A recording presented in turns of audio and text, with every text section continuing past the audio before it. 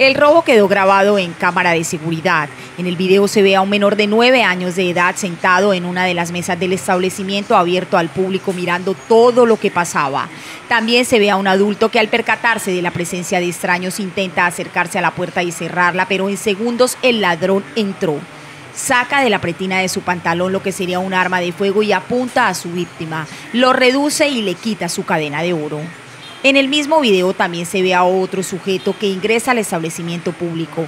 Sería el otro presunto ladrón que se habría llevado un teléfono celular de alta gama.